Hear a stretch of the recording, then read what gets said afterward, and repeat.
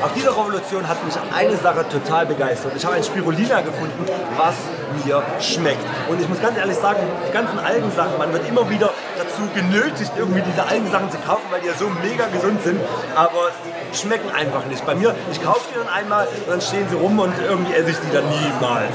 Und bei dem muss ich sagen, ich habe mir eine Packung gekauft und ich habe die Packung auch gegessen. So, und jetzt bin ich genau vor dem Stand Akalfood und einfach total äh, begeistert. Warum? Das Spirulina schmeckt. Und da habe ich mich, äh, da habe ich jetzt hier den Besitzer, bist du der Besitzer? Besitzer, ich bin äh, der. Ich habe es mit aufgebaut. Du hast es mit aufgebaut. Also ich besitze die Spirulina nicht, wir haben keine Farm. Ja. Wir beraten Leute, um, äh, wir muntern Leute auf, Spirulina anzubauen. Das ist unser Ansatz. So. Mit- So Landwirte einfach so als Spirulina-Anbau als Alternative sehen. Ja. Und ja irgendwie anders arbeiten als andere. Also zum Beispiel ein, ein Spirulina, was ich probiert habe, was mir nicht so gut geschmeckt hat, da war das von Pure. Das ist halt total geil. Das war auf der Farm und das hat mir richtig gut, also das war so begeistert war ich von Pure von dem Anbau, Deutsches und äh, Dings. Aber das Spirulina hat mir nicht so gut geschmeckt. Und, und, und jetzt, ne? Ja, ich kenne die auch oder sowas so. Und, und ich, äh, Pure War ist geil. Ich liebe auch die, die Menschen dort sympathisch. Genau. Das Spirulina hat mir einfach nicht geschmeckt. Kommt aus Ende. Und das Genau. schmeckt mir. Der Grund ist halt einfach so, die machen halt, also die Anlage, die sie haben oder sowas, ist ursprünglich für Chlorella gemacht. Und die haben die beste Chlorella, gar keine Frage oder so Sachen. Und das andere, und was wir hier haben, ist halt so, was man halt vielleicht nicht sieht, ist halt so, so dieses Granulat. Ja. Wir haben es halt so verschiedene Formen oder so Sachen, so mit Granulat. Und Granulat ist halt einfach Handarbeit. Das heißt so, wir tun da halt viel mehr Arbeit, wir stecken da viel mehr Arbeit rein. Das ist halt nicht sprühgetrocknet oder so Sachen. Und dieses Granulat ist halt einfach, muss halt gefiltert werden, gepresst werden. Da gibt es halt verschiedene Vorgänge und im Anschluss wird es halt ausgelegt und nochmal schonend getrocknet bei, äh, bei Lufttemperatur über 3, 4, 5 Stunden unter 40 Grad und dadurch behält sie, die wird halt einfach in dem Sinne entwässert. Und in dem Sinne nicht nicht sprühgetrocknet, die Spirulina geht nicht kaputt und das ist halt so das Interessante daran. Krass. Also dadurch schmeckt auch jede Spirulina anders. Jede Farm hat dann ihren eigenen Geschmack und das ist halt auch nochmal das Interessante. Also wie so, quasi wie so ein, wie so ein Wein. Da hat ja auch so jeder Weinberg, obwohl es selbe Sorte ist, seinen eigenen. Genau, also bei Wein, wir sprechen auch in Frankreich von Terroir und in Frankreich haben wir schon bereits so 200 Farmen. Also dies- es ist halt eine richtig große Bewegung, die es seit 20, 30 Jahren gibt.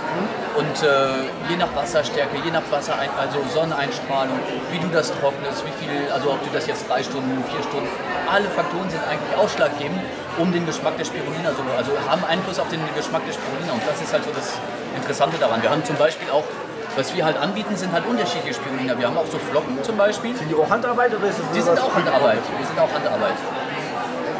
Wir fördern auch Kinderhandarbeit. Nein. Das ist halt so, die eine, was wir jetzt gerade haben, ist halt so solidarische Projekte. Das ist halt ein Behindertenzentrum in äh, Südindien.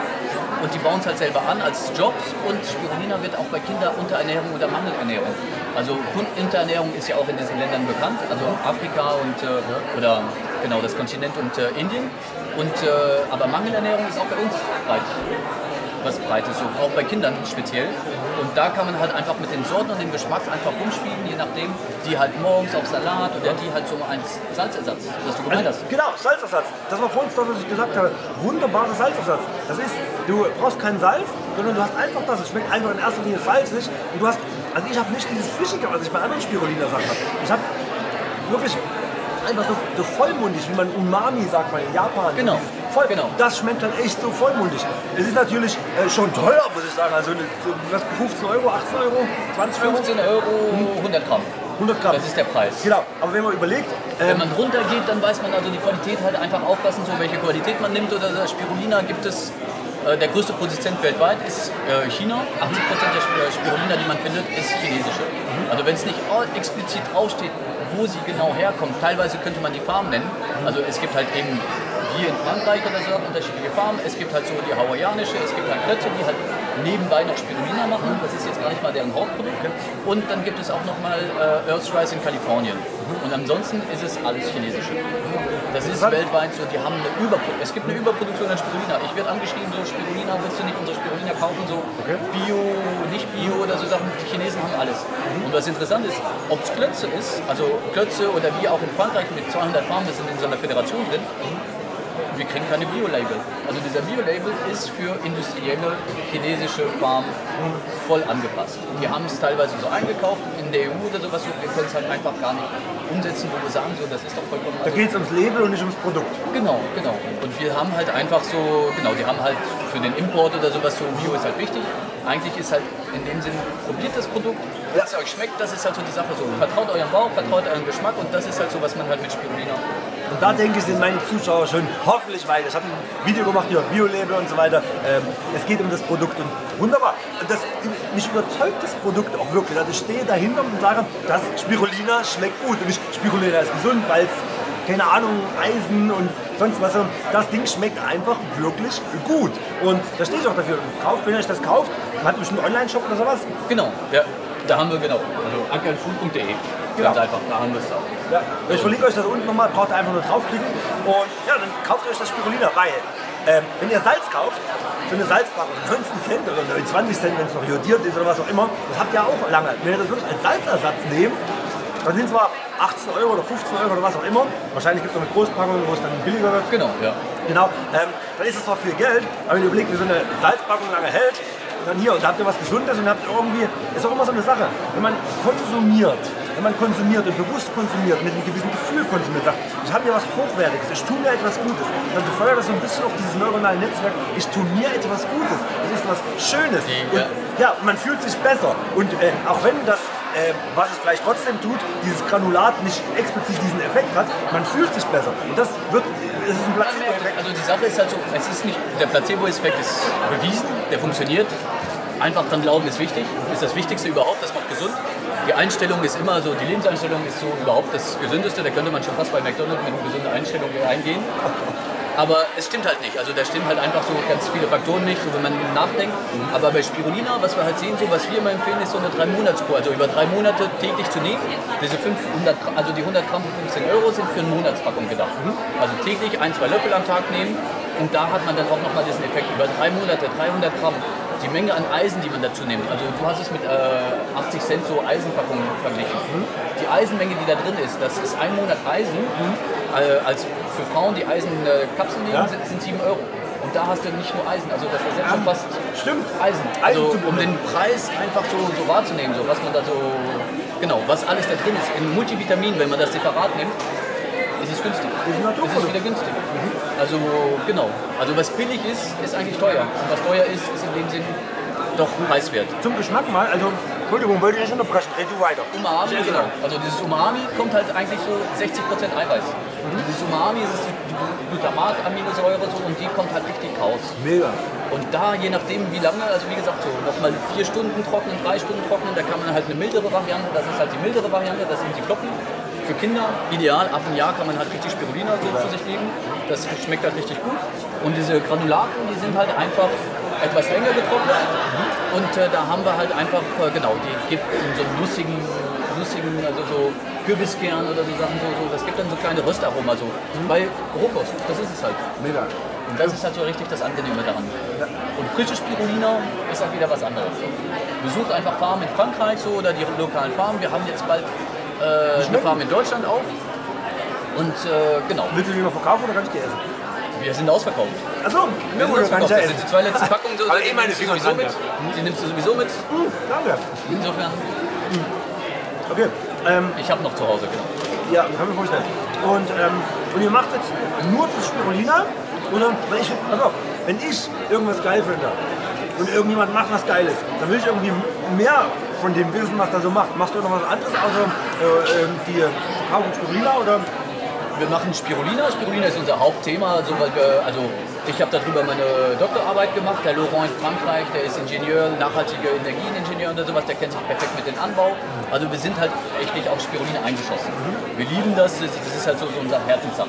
Herzensangelegenheit. Und damit daraus haben wir halt einfach so äh, so eine kleine Mischung, so eine Gewürzmischung rausgemacht. Das ist so eine Energiemischung. Da haben wir nochmal Spirulina genommen und äh, der Yoga, äh, unser Yogi äh, Laurent, also Kundalini Yoga äh, Guru, äh, hat halt einfach so diese Mischung rausgenommen, so mit wo er Guarana mit eingenommen hat, mit Acerola, Vitamin C und dann die ganzen Scheite-Gewürze, Zimt, Kardamom, Pfeffer, Ingwer, Nelke. Und das ist Guarana. Halt so, Guarana. Geil, Guarana. Guarana ist richtig, richtig geil, weil in jedem Satz Koffein vielleicht lehre ich dich jetzt auch oder vielleicht weißt du schon. Ich kenne sie auch schon. Guarana ist einfach, das rockt dermaßen, weil wenn du normal Koffein nimmst oder Cola und Kaffee, das geht sofort ins Herz, macht Bäm, tut im Herz oftmals weh.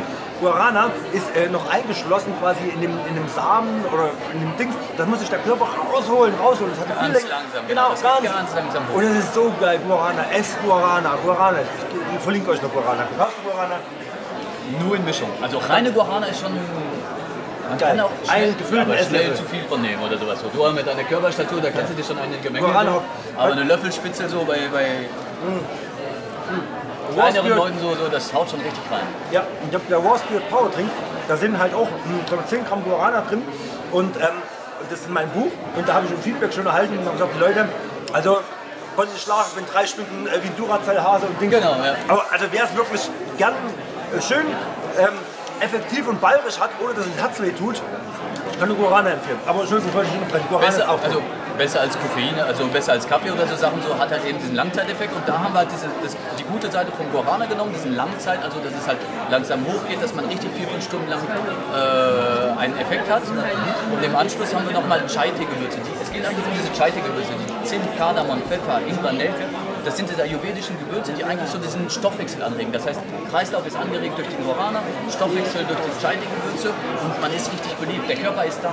Der ist halt einfach, du bist präsent, du bist wach, du bist aufmerksam. Und Spirulina gibt halt ebenso so über Eiweiß und Mineralstoffe diesen Substanz. Du hast halt richtig Substanz. Guarana gibt es diesen Pep so über drei, vier Stunden. Aber Spirulina mit äh, Eiweiß und Mineralien, da hast du halt richtig so Substanz, um über die Zeit richtig schön zu bleiben.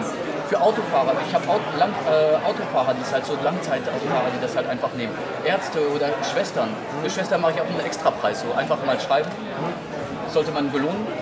So, eine, so ein Einsatz, so ein Lebenseinsatz. Und, äh, und für Nachtschichten oder so Sachen, dass du halt einfach vom Kaffee rauskommst, einfach so richtig schön. Du bist halt einfach wach, du bist halt nicht überdreht oder so, du bist einfach smooth und ich bin da und konzentriert. Studenten, auch top. Und Spirulina ist halt einfach dann sozusagen, was du sagst, Spirulina Anteil. überall rein. Da haben wir auch noch mal so einen Rohkostriegel, so mit Datteln, Mandeln, Cashewkerne. Für unterwegs, wenn man so auf Wanderung geht, für Fahrrad oder für äh, Abitur. Haben mir ganz viele Mütter gesagt, so Abitur, ah was, mein Kind, während dem Abitur, genau, das während dem Abitur, oder Prüfung allgemein. Und dann haben wir, und was wir machen, äh, die letzte Zeit ist halt so, das ist so eine Kooperation. Wir suchen auch äh, andere Startups, die halt richtig gerne machen. Also was, die haben halt, jeder ist halt seine, hat seine Spezialität. Und das ist so eine Rohkostschokolade von Chocolatier. Das ist äh, Row. Ähm, einer der schönsten Schokoladen, die man überhaupt so essen kann. Okay. Das ist halt so die Criollo-Bohne aus dem Peru-Amazonasgebiet, die wächst halt wild. Das ist die edelste äh, Schokoladenbohne, die man finden kann. Und das sind Schokoladentrüffel. Und das, ist, das zergeht richtig schön im Mund, alles vegan. Und da hast du halt nochmal Spirulina drin. Wir mischen überall Spirulina rein und versuchen da so Kooperationen mit Leuten zu finden oder so Sachen. Demnächst machen, bringen wir eine Schokolade mit äh, das Bernsteinzimmer aus Wuppertal. Die haben auch eine wunderschöne Schokolade und da machen wir dann Stafe mit äh, Chai-Tee-Gewürze, Spirulina und wir suchen halt so, genau, Synergien.